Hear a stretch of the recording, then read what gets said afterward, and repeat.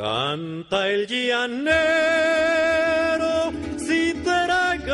Estamos hoy en, en Santa Teresa de Pachaquiaro y es que aquí se decidió iniciar en alternancia porque se tenían las condiciones. Pretendemos desde la, desde la entidad territorial apoyar este proceso con el cual estamos convencidos que debe iniciar.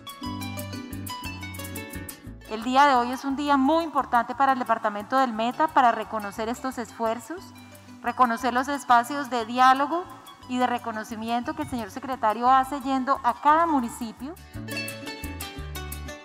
Hoy este colegio, que es un buen ejemplo para el departamento del Meta, le estamos mostrando es al departamento y a Colombia que es posible iniciar este proceso de una manera segura. Nosotros tuvimos una reunión en este mismo escenario con los padres de familia y los niños que están en alternancia. El 100% de los niños y de los padres de familia firmaron el consentimiento.